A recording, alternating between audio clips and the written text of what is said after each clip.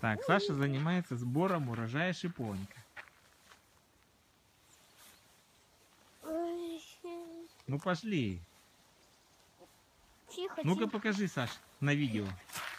YouTube. О, сколько шиповника. Посмотрите. Вот, вот, вот, вот. Сбор урожая. Для чего это? Будем что делать? Чай. И сейчас что-то. Шиповник заваривают. Да, правильно. М, Какой вкусный, понюхайте. Да. Это здорово.